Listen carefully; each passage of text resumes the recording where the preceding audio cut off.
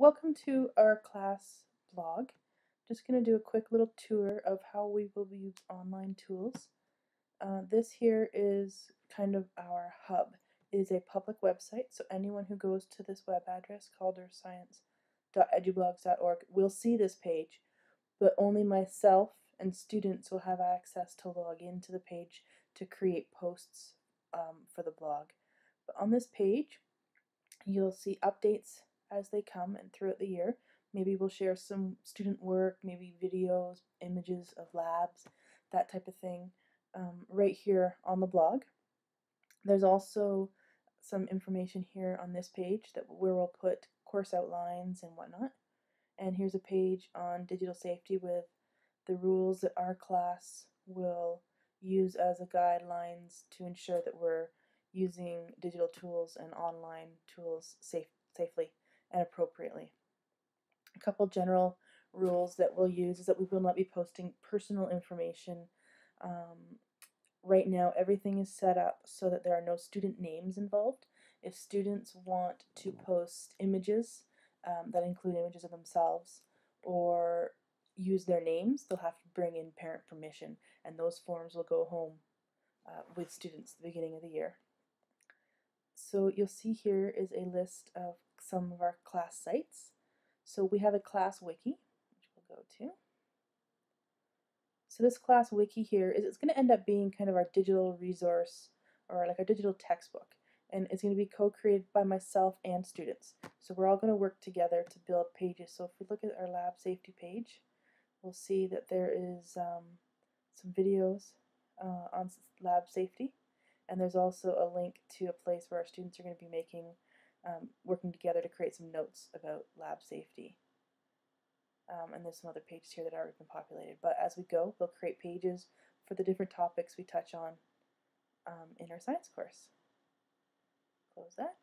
And the next link here is our D2L or Desire to Learn and its online classroom. This is a very locked down.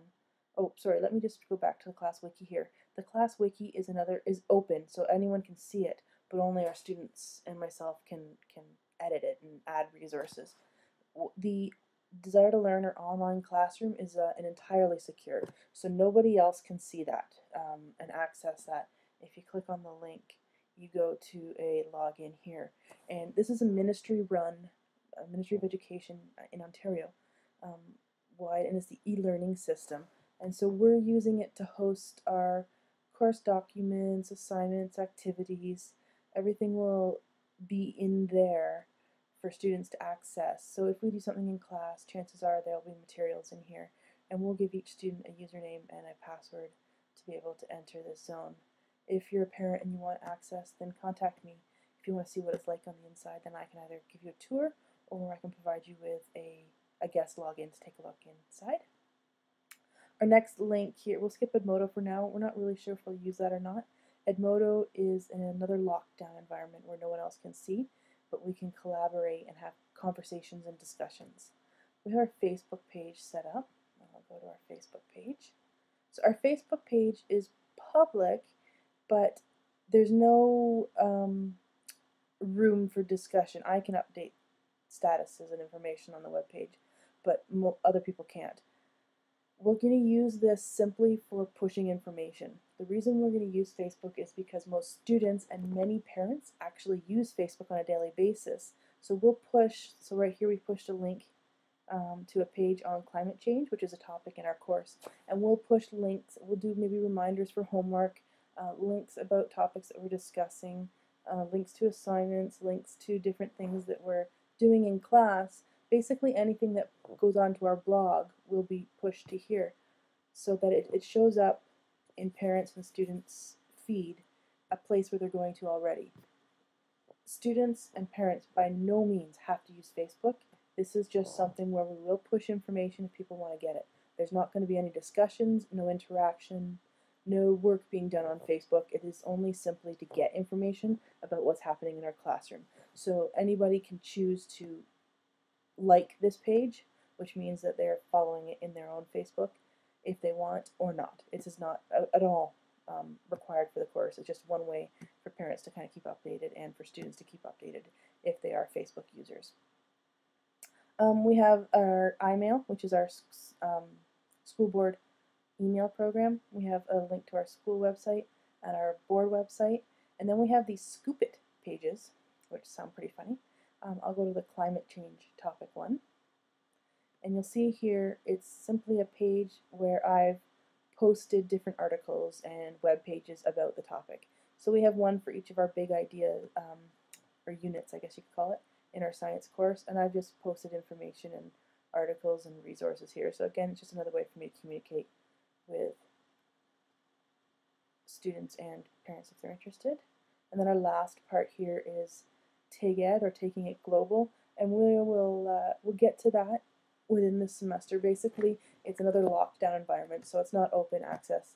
Uh, only our students and myself can access it.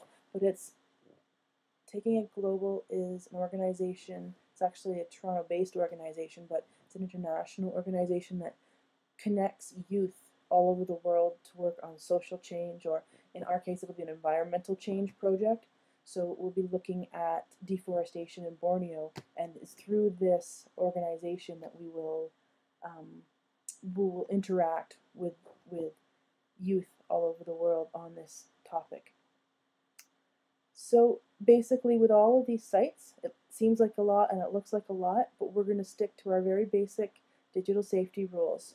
We're not posting personal information ever.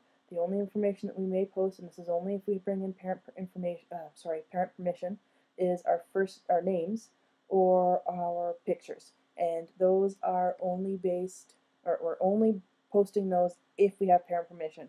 So it is absolutely not necessary, and we will post our own work. We will be um, as students will write reflections and blog while we're online about different science topics that we're studying, but we in no we do not have to identify ourselves. That will be only based on a decision made at home, whether or not the student is comfortable and wants to do that. So on our blog page here, you'll also see a Twitter feed, and the exact same thing as with Facebook. We don't need to be using Twitter, it's just another way. If there are parents and students out there that use Twitter, they may want to follow the hashtag uh, and if this doesn't make sense to you, the word hashtag or whatever, then and Twitter, don't worry about it. It's just for people that use Twitter already. It's this grade 10 science uh, hashtag.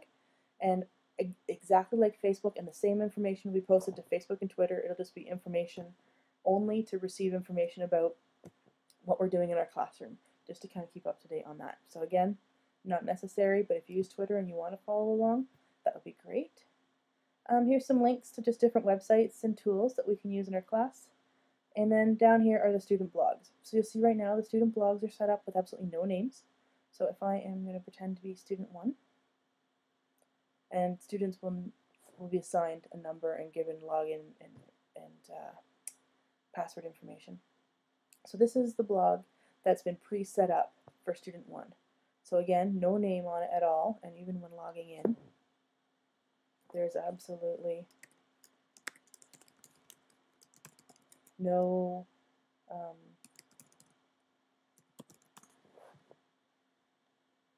no personal information, no names being used un unless students change that information in which they'll need parent permission to do that.